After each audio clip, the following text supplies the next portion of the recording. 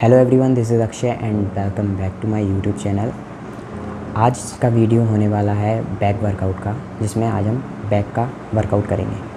Back का workout करने के लिए हम इक्विपमेंट ही बैक का वर्कआउट करेंगे। ये बिगनर्स के लिए ही होने वाला है। तो चलिए इसको स्टार्ट करते हैं।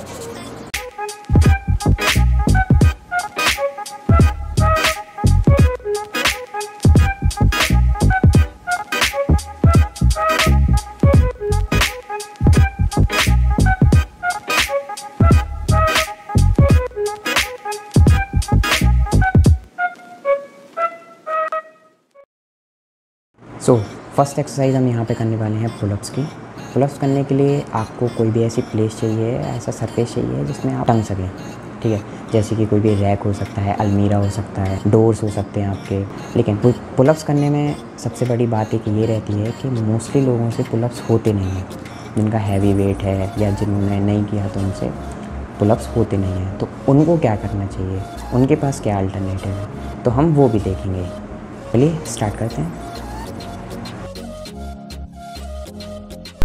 यहाँ पर मैंने अपनी नीज को बेंड किया हुआ है, जो कि मुझे हेल्प कर रहा है पुशअप्स पुलअप्स ईजिली करने में। तो आपको अगर पुलअप्स करने में कोई दिक्कत होती है तो आप इसको एक बार ट्राई कर सकते हैं।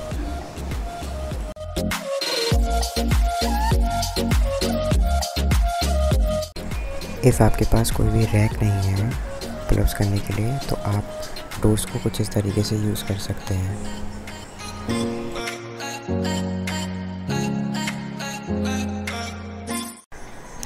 This could be our alternative of pullups यहाँ पर आप देख सकते हैं कि मैंने अपनी बॉडी को बेंड किया हुआ है। इसे एक्चुअली है चिनअप पर आप मेक श्योर sure करें कि आप एक कर्व बना के चिनअप को करें, जैसे कि आपका मैक्सिमम लोड आपकी बैक पर आए।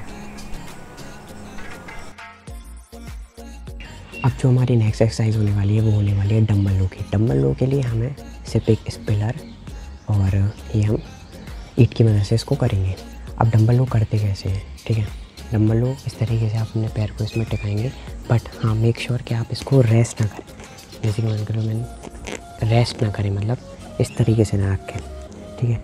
इसके लिए आप अपने पैर को इस तरीके से नापेंगे, जैसे आपने पैर अपना रखा, ठीक है? अब हम इसको एल्बो को, ये हमारा जो हाथ है, ये एल्बो का साइज़ जो है, जहाँ तक ही जा रहा है, वहाँ पे हम इसकी ग्रिप लेंगे, ठीक है? और पोजीशन हमारी बैक की ऐसी रहेगी कि लोअर बैक जो हमारा रहेगा, उसमें थोड़ा सा कर्व बनेगा, ठीक है, एक आर्क इस तरीके से होगा, ठीक है? जो हमारा चेस्ट रहेगा, वो अप रहेगा, ठीक है? तो हम इसको कुछ इस तरीके से, ये डम्बल की मदद से ईट की मदद से हम इसको करने वाले हैं, ठीक है? तो हमारा चेस्ट अप रहेगा, अब हम इसको स्टार्ट करेंगे, ठीक है? तो हमको पूरा नीचे लेके पूरा ऊपर तक नहीं जाना ठीक है? मोस्टली लोग यही करते हैं, ठीक है? और ये बहुत गलत है। इससे आपका, ठीक है तो जो हमारा मसल टेंशन रहता है, वो रिलीज़ हो जाता है। तो इसलिए हमें एक बात का याद रखना है। बैक की मसल जो होती है, उसको हमें हमेशा फील करके ही लगाना पड़ता है, ठीक है? मतलब आप ये कहेंगे कि मैंने ये पिछली वीडियो में भी यही बात बोली थी। एक्चुअली आपको सभी फील करके लगाना लेकिन बैक की मसल एक ऐसी मसल रहती है कि जिसमें आपको वो कभी उसको आप देख नहीं सकते, ठीक है? बैक की मसल को आप कभी देख नहीं सकते। ठीक है? तो वो विजिबल मसल नहीं रहती हमें। तो अगर हम किसी चीज़ को देखते हुए फोकस करते हुए लगाते हैं तो हमें उसमें ज़्यादा पम्प मिला पम्प मिलता है ठीक है? लेकिन बैक को हम कभी देख नहीं सकते तो इसलिए तो इसलिए इसमें मसल माइंड कनेक्शन आपका बहुत ज़्यादा होना चाहिए कि आप कर क्या रहे हैं। आपको एग्जैक्टली exactly, बिल्कुल हर चीज़ जो भी आप करेंगे इसमें आपको वो महसूस करते हुए लगानी पड़ेगी ठीक है? तो चलिए हम देखते हैं। हम जब हमने पोजीशन अपनी सेट कर ली, ठीक है तो हमें ये इस पोजीशन में, अब हम डम्बल को, ये जो हमारा हैंड रहेगा, वो हल्का सा बेंड रहेगा, ठीक है, हमारा एल्बो स्ट्रेट नहीं होगा। शोल्डर की पोजीशन हमारी नीचे नहीं जाएगी कभी, ठीक है, हमारा शोल्डर भी एक उसमें पोजीशन में सेट रहेगा, ठीक है, उसका उसमें मूवमेंट नहीं होगा, ठीक है तो हम ये इस तरीके से लेके जाएँगे, ठीक है, ये इसको कभी नीचे मत कराएँ मतलब आपका शोल्डर नीचे नहीं आना चाहिए। ठीक है, आपका शोल्डर हमेशा इस तरीके से सेट रहेगा एक पोजीशन में।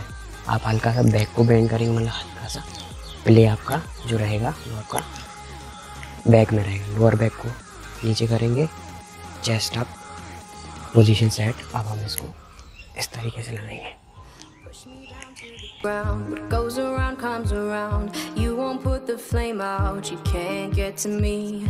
Say what you wanna say, go take it all away. But I'm here to stay, no, you can't get to me.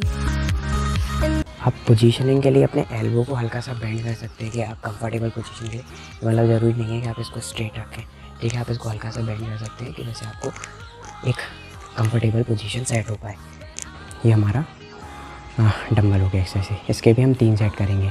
हाँ एक बात और। यहाँ पे हम बहुत कंसिस्टेंट वेट ले रहे हैं, ठीक है? हमारा वेट कांस्टेंट है, ठीक है? तो इसलिए ज़रूरी ये नहीं है कि आप पंद्रह, बारह या आठ मतलब ऐसे कोई रिपीटेशन लें, ठीक है? आप अगर चाहें तो कंसिस्टेंट रिपीटेशन भी ले सकते कॉन्स्टेंट रिपीटेशन में भी आप ले सकते हैं। जैसे आप 15 15 15 के ही तीन सेट लगा सकते हैं 20 20 के लगा सकते हैं, वो आपके ऊपर डिपेंड करता है। अगर आपको बहुत लाइट वेट लगता है तो आप रिपीटेशन बढ़ा सकते हैं, ठीक है? तो इस बात का आप ख्याल रखिएगा।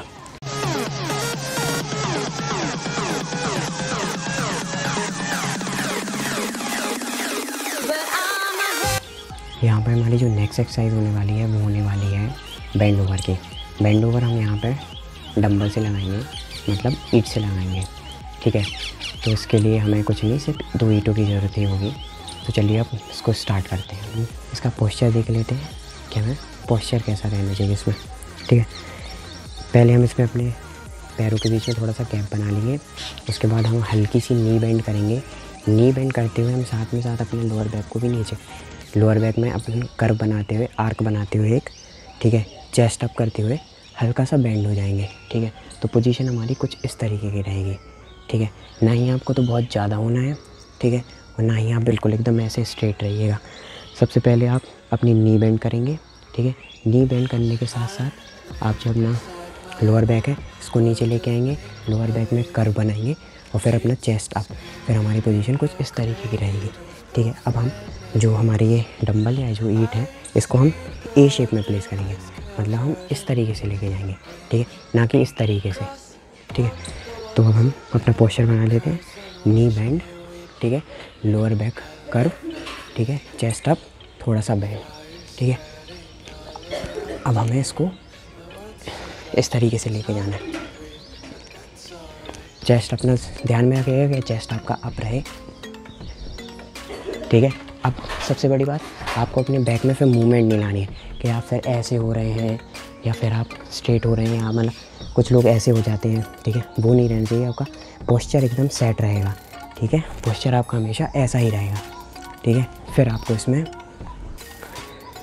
इस तरीके से रिपीटेशन करना चालू करना पड़ेगी।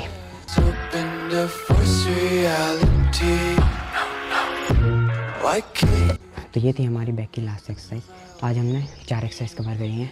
आप इनसे स्टार्ट करेंगे, तब आप फिर हम इसको आगे और लेके जाएँगे। ठीक है? फर्दर जब हम थोड़ा हैवी वेट लेंगे तो हम थोड़ा एक्सरसाइज में भी चेंज करेंगे।